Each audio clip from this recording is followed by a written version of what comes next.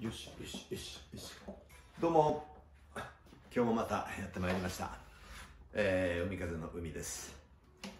えー、コロナコロナということで今日もまた、早く仕事が終わったのでこうやって、えー、ちょっと一言二言喋ってはいい曲歌って今日の一日を終わりたいと思います。えー、今日のですねホットニュースというか話題はですねトピックスはこれです。学校の9月始まり。秋学期スタートということで、えーこれまで、えー戦後ずっと続いてきた4月始まりの入学式。これがですね9月にしてはどうかということが今盛んにこれから論議されてくるのではないかと思います。以前一度ですね大正時代かなんかに一度、えー欧米に合わせるということで、9月スタートやったことがあるらしいんですけど、まあ、いろんな方面からの反対でまた4月戻ったという。ただね今、えこの4月始まりというのはなんと世界の中でインドと日本2つしかないそうです。あとは全部世界中9月始まり。ですから、え留学したりですねまた留学に来られたりした場合その場合が非常にこうロスタイムが出るわけですね。ですから、えーできたらこの機会ですからめったなチャンスがないとできないことだと思います。これ本当にめったのめったのことがないすごい、えーピンチなんですけど逆にこれは、えー日本の教育そしてこれから世界との交流を考えた場合にすごくいいチャンスになっていくピンチはチャンスまさにこれだと思います。えー9月始まりなるとはですね今、えー非常に学校の中でもう一応6月までは5月の末までは学校は休みということであとは家庭学習をやってくださいという非常にこう、えーまあアバウトな言い方。でもこれじゃやっぱり学力格差ねこれは経済格差も伴って、えー顕著になってくると思うのでできたら9月から用意ドンでもう一度スタートが切れればいいんじゃないかなと思います。はいそんなことを考えながら今日はこの曲を言ってみたいと思います、えーこの曲はあなたに伝えたいことがあるから。実はこれあの私の教え子が、えー作った曲、えー詩なんですけど、えー彼女がちょうど中3だったと思います。今も高校卒業して社会人になったのかな、えーそんな時彼女非常にやっぱり乙女心にですねいろいろ考えながら悩みながら、えーその時の気持ち友達にこのことを打ち明けようかどうしようか、えーでもできたらこのまま見守りたい。でも一緒にいろんなことを分かち合いながら生きていきたい。そんな気持ちなので葛藤をですね、えーうまくこの業界に読み込んでもらえれば、えーいいんじゃないかなと思います。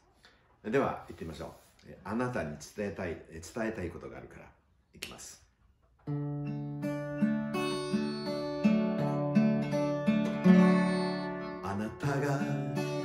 のそばにいて懐かしい記憶を巡ってるだけどその時記憶の中で溜まってた思いが溢れ出す。本当はあなたに謝りたくてあなたに思いを伝えたくて心の中で温めていたことが今になって思い出す。あなたが私の手を取って黙ってた気持ちを。返る。だけど心の時私はずっとあなたのことが好きでした。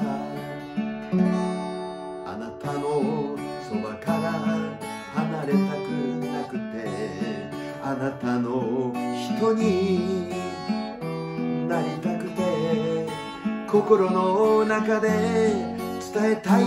ことが今になって言いたくなるいつまでも掘ればあなたが私のそばにいてくれて私を見つめていてくれるスケッチブックに描いたあなたの似顔絵。きっと忘れないいつまでも Forever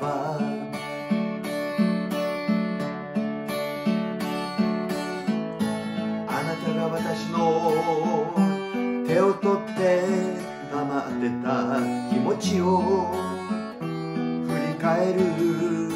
だけの心の時私はずっとあなたのことが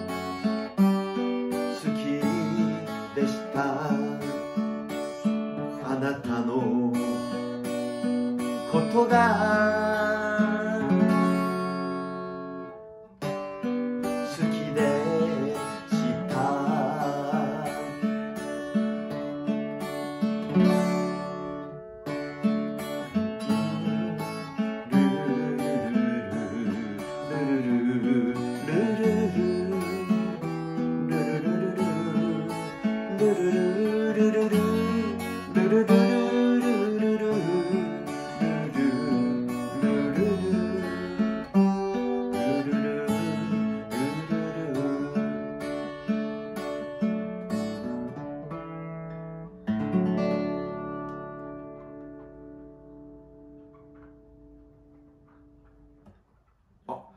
なんか帽子が違うかな？